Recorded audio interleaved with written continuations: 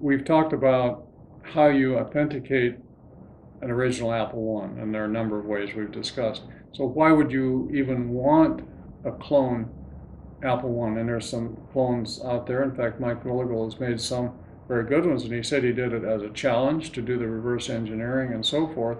But you, you would use the clone to demonstrate and show other collectors and other people interested in the Apple One what a real Apple One looks like in an environment where you didn't have the security to protect the Apple One. I mean, after all, these are worth between thirty thousand and two hundred thousand dollars each. So you wouldn't want to put them in, in an environment where they could easily be vandalized or stolen. Yet a clone could show people what the computer was really like, and they're very good clones, they're very good copies, but they are copies, and that's certainly a very good use of a clone. So we're delighted to discuss how you have uh, the ability to ter- determine if you have an original Apple One.